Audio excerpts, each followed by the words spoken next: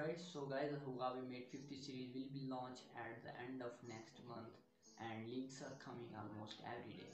If you are following the updates on Huawei Mate 50 series, you may hear that the Pro variant will have a wide notch and now I got new leak from a reliable leakster Digital Chat Station.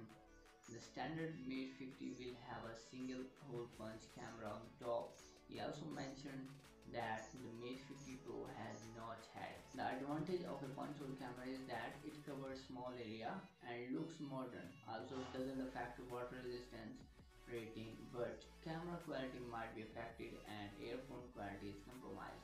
Anyway, that's not it. The tipster further reveals that Huawei Mate 50 Pro will come with a large circular camera system that reflects the same appearance as the last generation of the Mate. It also equipped with a curved edge display similar to the Mate 40 whereas the Mate 50 Pro will definitely have a curvature on the left and right sides of the display. Anyway, do let me know what you think about this down in the comments and don't forget to subscribe to my YouTube channel for daily content like this. I will see you in the next one. Peace out.